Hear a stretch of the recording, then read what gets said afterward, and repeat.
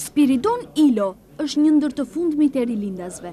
Përveç pasurisë së shkruar që Ilo ka lënë në letërsinë shqipe, ai ka qenë pjesëmarrës edhe në shpalljen e pavarësisë përkrah Ismail Qemalit në Vlorë. Këtë pasdite përkujtimore e organizoi biblioteka e qytetit dhe familja e patriotit.